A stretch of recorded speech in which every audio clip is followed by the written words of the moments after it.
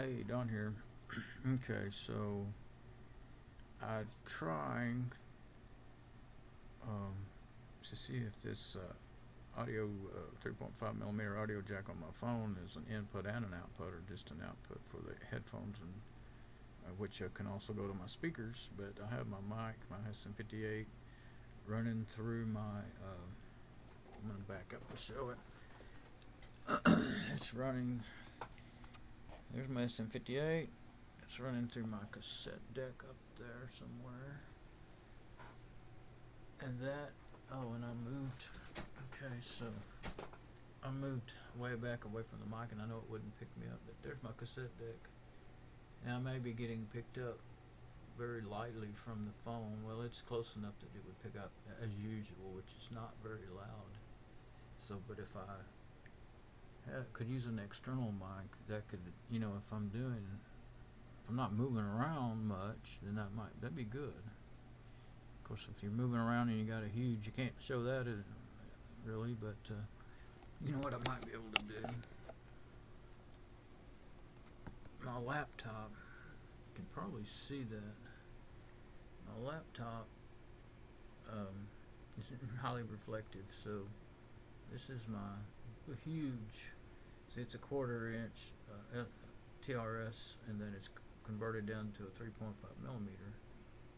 So uh, it's uh, you know you can't move it around you got to be careful you'll break break the phone jack so um, anyway I use it on my laptop and it works pretty good. I plug it in right here and I have the laptop sitting on this board sitting on my keyboard tray and my big rack here, my computer rack and audio rack is what I use it for audio. See, I have some adapters actually that make a 19 inch rack gear fit.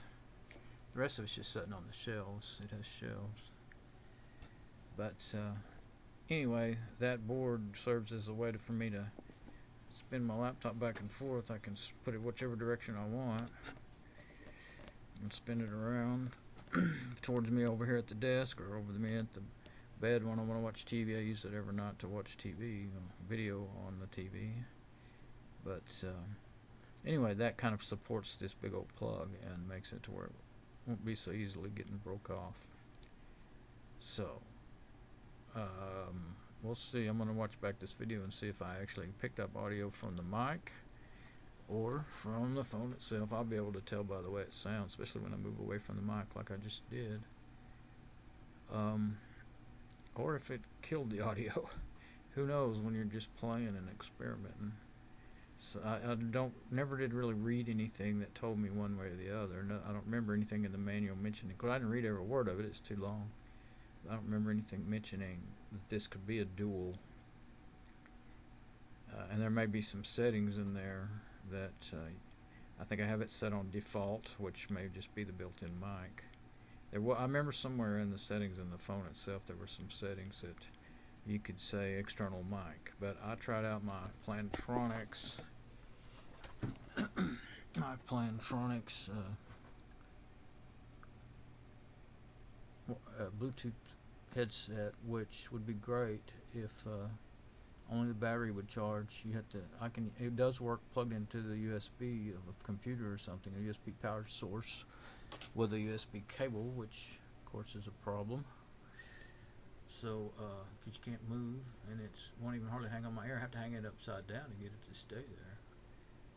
So I can't really use that unless I get a new battery for it, and that looks like they're around six or seven dollars, and uh, and it's not actually meant to change the battery. I'd have to hack into it and figure out how to do it. I've saw some videos on how you can do it, but uh, you can get them from twelve to twenty-five dollars brand new, and that's a pretty old one. Somebody gave it to me. So anyway, I'm just figuring out how I could maybe get the best sound possible out of this phone.